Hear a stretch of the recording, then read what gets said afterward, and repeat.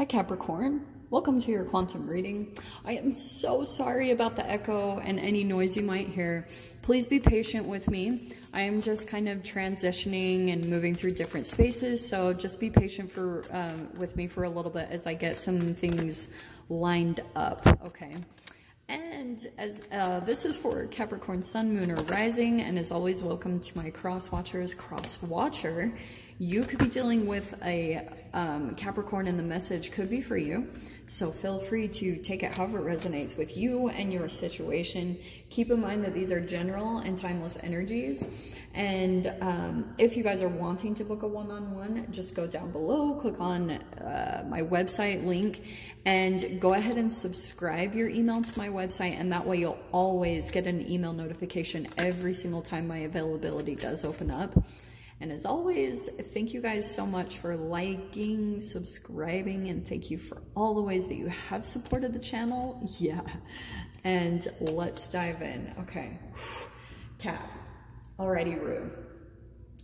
Um, I feel as though yeah, um, this has been a popular card, and actually this one has too. Pisces had this one, and Aquarius had the Unseen. So I don't know if you guys are interacting with any way. You could jump over to those readings if you feel like it, but you don't have to.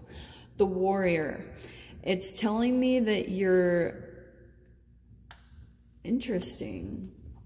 I feel like there's a bit of an entanglement going on there. I don't know how accurate this might be. First of all, that's you. Hardworking. that is such a Capricorn card. It's like you might have just gone through this crazy, insane transformation. And also, I feel as though you've all, you've got some other people that are kind of on the same frequency. Like, I don't know if you're interacting with other people, and it could be kind of like this energy of feeling really like tired, worn out, burnt out type of thing. And then we have the unseen, okay? And in the center, the destroyer, okay? Before we're gonna get way into this, we have the justice, truth, balance, clarity, cause and effect, equality, and justice. Okay, and then we have the Knight of Wands, unpredictability, decisions, creativity, enthusiasm, spirited. Okay. Cap. What I'm getting from this is there's some type of thing where the unseen is telling me of a reaction that you might be having. Like the Knight of Wands can be very spirited, high action, you know, a lot of movement. So I don't know if you guys have been through this recently where you kind of started moving a lot. Like you had to take action. You had to make something happen. And so there was like a cause and effect to some some things that had happened. Maybe you started moving. Maybe you started to feel really triggered by a particular person. And then we have the destroyer okay? I know that that energy is really intense but it's actually a very beneficial energy. Because what it's going to do uh, usually the way that i see this energy play out is for a bit you're feeling overly activated by something unseen. And I feel like it's a particular person. Like it could be someone that represents the destroyer. Like to me, to put it in more gentler terms, it would be someone who's a saboteur. Like someone who maybe doesn't have your best interests at heart or doesn't truly want to see you succeed. This actually might be a really powerful catalytic energy because so I'm going to tell you guys this personally, okay? So when you are picking up something vibrationally because you have cells, you you have about 37.2 trillion cells in your body. There are receptors on your cells that actually read vibration in your environment. So that's why I'm saying there could be something unseen about your environment that you're picking up on and it's actually like activating your nervous system. You're actually like getting sparks of energy because you might be feeling as though someone's like directing something at you or this person is almost even waiting to like for you to fail. They wait for you to kind of like spin yourself into circles, which isn't usually what I would get from a Capricorn. But with the warrior card, there's going to become this point where you will see something come back from this overactivation. Once you get to this kind of like surrendering state, is when the magic is going to happen, okay? And I know that it can sound kind of like conflicting, but there's this burnt out kind of, oh my gosh, I can't deal with this anymore type of a frequency is actually really beneficial because you start to just not give an F. And there really is something to that frequency that transforms a lot of things. And so this can be kind of like an overworking or you're doing something harder than it needs to be. So let me grab the cards. Let's see what's going out here.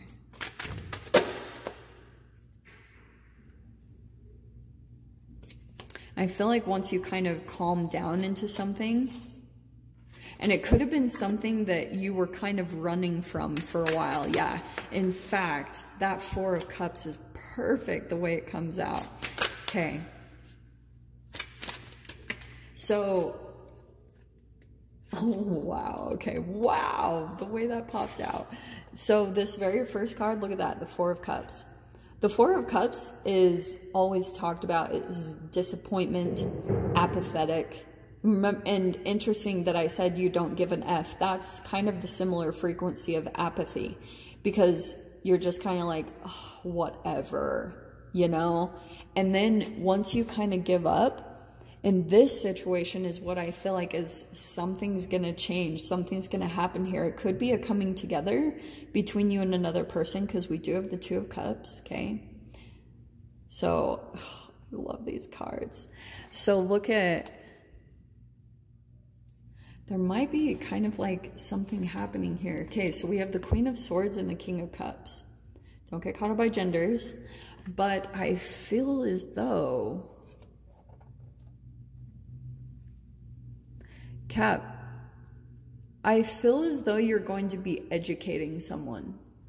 Communication at the very least, but I feel as though some type of communication that happens between you and a particular person this week, um, it feels like it's with this King of Cups character, and it's even more interesting that I mentioned Pisces and Aquarius both of the energies are kind of coming into this spread.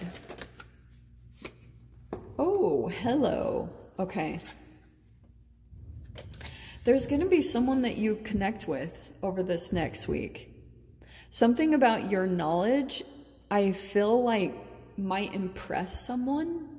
Some something that you say or something that you know or understand. It's like that might cause some conflict in the environment. So look how perfect this is coming in with the destroyer. Because I feel as though this can be conflict or jealousy. I feel as though you might be dealing with someone who, like, I won't lie, this could be a person that tries to even come in between you and a particular person. Like, this could be a friendship or this is some type of camaraderie, full on. So I look at the wheel of fortune coming into. There's a change happening between you and a particular person. I am so sorry about the noise, guys. Please, please be patient with me. So, and this, I am going to take this one first because it feels like to me that there is like a really significant change happening between you and a person. And it's because of your ability to kind of stay detached. Like, there will be someone that maybe tries to trigger you or get an active activation from you. It might be unpredictable. Like this even could be the person. They're trying to get you to mirror them. This is a very uh, unpredictable person that kind of like you have had an on and off relationship with.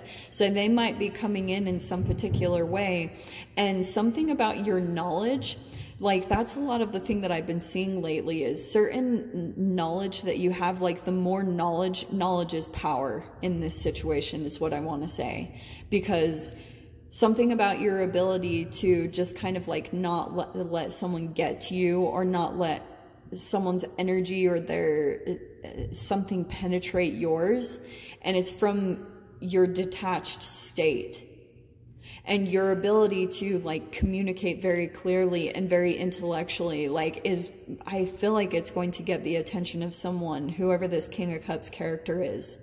And it's like it, it like changes their emotional like there might actually be this change that you see in a particular person that's very emotional, very empathic, and all of a sudden they shift and change because maybe something, the way that you're articulating yourself or the way that you're communicating yourself, there's like this whole emphasis on justice being served, you know, like things that have been unfair, things that have been out of balance, relationship dynamics when there's like an over like someone's consuming way too much power, their ego is just feeding from it.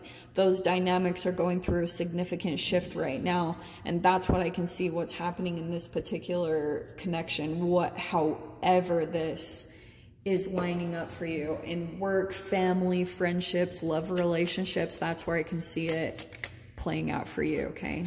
Yeah. Uh, your advice, we have clearing. Remove energy blockages by clearing out unwanted emotional or material clutter. The destroyer.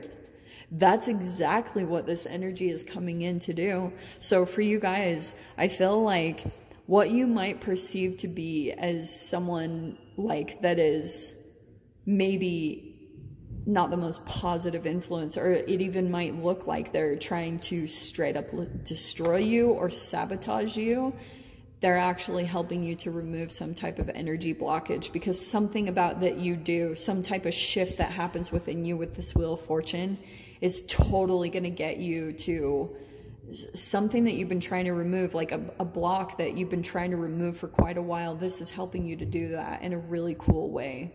Okay. Wow, cap. So I'm going to dive into the extended.